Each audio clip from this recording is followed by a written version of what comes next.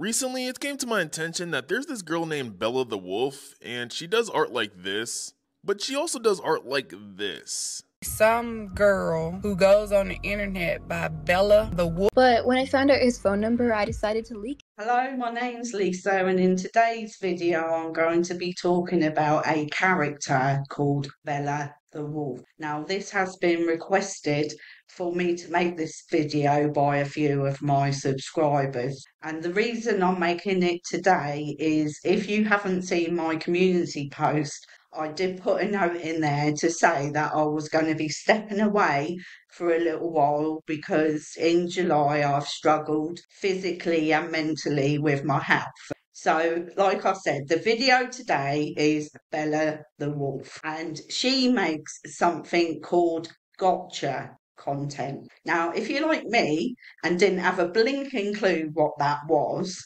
then, you know, we're in the same boat. But I've looked it up and it's creating anime style characters and stories. I'm just totally guessing here, but I think it's where someone creates a character and makes up fictitious stories and lives for them, but obviously I could be totally wrong. And the reason for the video is some of these people take it to a whole new level and totally out of left field and they start alienating people by talking about their religion, their race in a very detrimental and demeaning manner. And from what I've seen, this seems to be what Bella the Wolf is doing. Now, I do want to make one thing very clear right from the start. I don't want anyone to send this person any hate.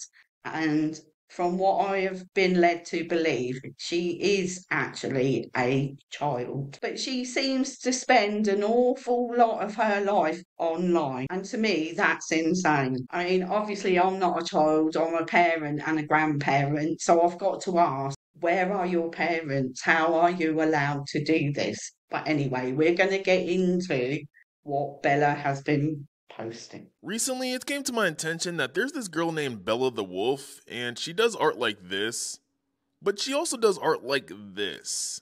And for months, she's been posting things mocking Christians and Muslims, posting things like Bella's the new Allah, Bella's better than Jesus, Bella is Jesus. She's literally tried it all. Bible stories of Bella. She's even done edits talking about how she's better than Jesus and Allah.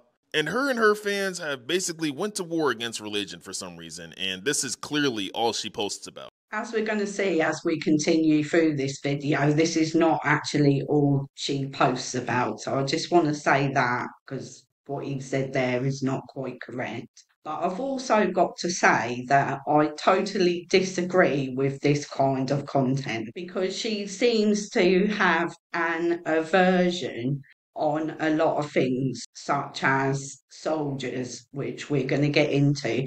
But why is she picking on people's religions? That's the part I don't understand. It's got nothing to do with anybody else who you believe in or don't believe in. But for you to be mocking those people is just disgusting. I'm sorry if you can hear my little fan running, but it's over a hundred degrees here, and you know I feel like I'm melting with it on. So God knows what I'd be like if I didn't have it on. That was an example of an anime put out by Bella the Wolf, and as we can see, that is just not right on any level. And I don't agree with the posts like that that are so disrespectful to the armed forces, especially picking on soldiers in a video like that. That just seems very sick to me at the end of the day, they protect us all. My father was in the British Navy, and he, along with all of the other people serving on that ship, put their lives at risk for the rest of us. So to me, she's just a disgusting individual. And to be honest, I don't think I'm the only one that thinks that. Military serves as a purpose to protect us from the people who solely want to come to this country and hurt innocent people. Not only does she disrespect the military, but it, it has been alleged that she also faked cancer, and that takes lying to a whole new level, doesn't it? And not only did she allegedly fake it for herself, but she totally disrespected another YouTuber who is unfortunately deceased from cancer. He was a Minecraft player and she mocked him mercilessly. I mean, what the actual F? It doesn't get any better from here on in either. She definitely doesn't improve. So now we're going to find out that she actually doxed a 10 year old. Yesterday, some girl or some person who goes on the internet by Bella the wolf put my son, and here he is, that's Miles, put Miles' number on a Discord server, said that it was hers, and told people to call. This Discord has over 10,000 people in it. Since then, Miles has gotten over 500 text messages, over 200 phone calls, and voicemails that we've had to deal with. So at this point, I am going to have to change Miles's number. That seems like such an immature and very dangerous thing to do because idiots like this won't just be calling, they will be leaving voice messages and sending inappropriate videos and photographs to a 10 year old. I mean, don't get me wrong, I know Bella the Wolf is a, kid. I've no idea how old she is, but that doesn't excuse her behavior. It is scary. And then for people to be using racial slurs, my son, me, um, there was pictures sent that were very, very inappropriate for a 10 year old, inappropriate for me, and I'm 41 years old. If you follow Bella the Wolf, please tell her to take my son's phone number down. That is totally insane. And I reiterate what that mum said. Please encourage anyone to take that phone number down. Obviously, I'm not American, but I do believe doxing is illegal, isn't it? So the other day I uploaded a video exposing the most toxic Gacha Life creator, Bella the Wolf. And her response was nothing the less art of her decapitating my head. Her staff and close friends also joined in posting art of me getting whipped, stomped to the ground, and even hanged. She of course also made fake DMs, which if she was good at, would have obviously gotten my profile pic right at least. Thankfully, a lot of you guys were smart and didn't jump the gun, especially when it's coming from a person like Bella the Wolf, who lies and says I'm an EDP, I have a OF, and still says things like this about Technoblade who passed away from cancer for no reason. After the video came out by Ty Records exposing a lot of things that Bella the Wolf has been posting, she retaliated by telling all the people in her Discord, and remember that's over 10,000 people, to mass report his YouTube channel, therefore get it taken down.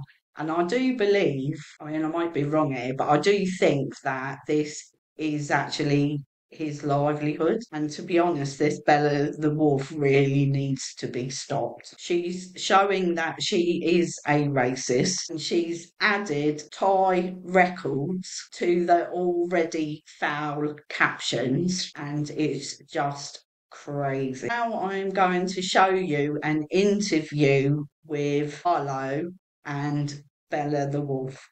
Did you decide to make your uh, persona, your uh, OC being a gacha character which uh, hates soldiers and all of this stuff? Why did you decide to start this entire Bellarism stuff as well? Alright, so obviously I started back in like 2020, 2021, and obviously I was just a kid who like started gacha like any other child would. And then I started making an OC like everyone does in gacha because that's basically what you do. Is that right? Because I actually don't know any kid who has started a gotcha.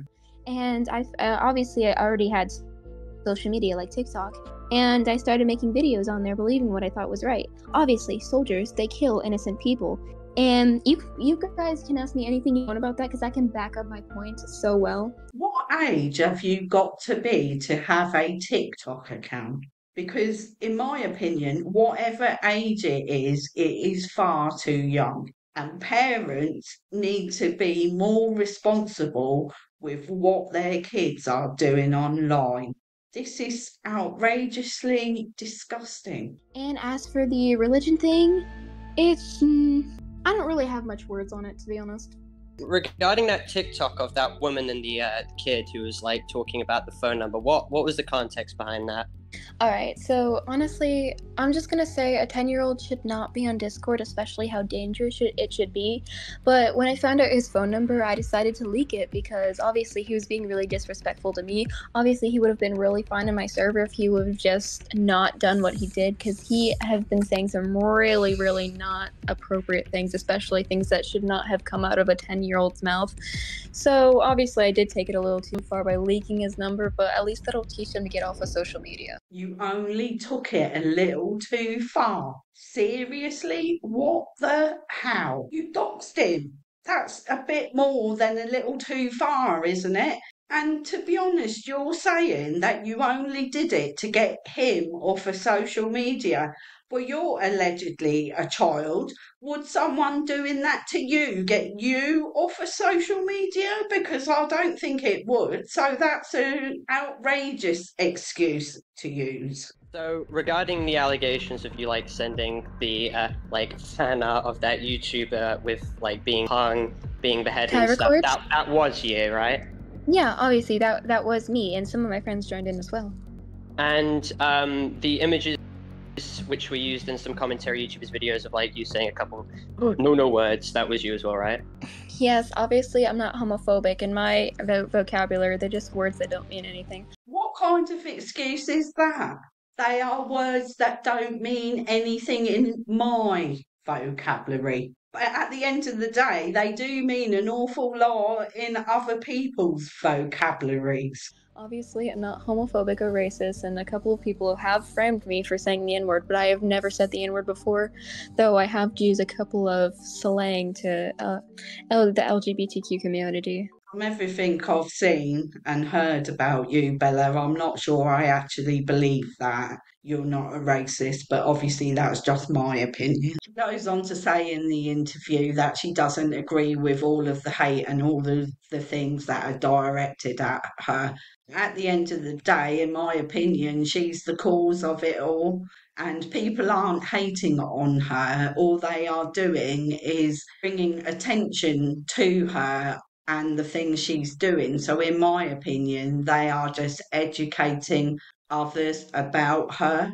And she says that the hate means nothing to her. Well, yes, it does by some of the things that she's done once these videos have actually come out. Great news is her toxic TikToky did get banned. Her main Discord account, it got suspended. But again, Discord does need to get contacted about that server because they constantly promote doxing and disgusting things in that server. She's been saying she's gonna sue me, she's trying to get thousands of people to report my account.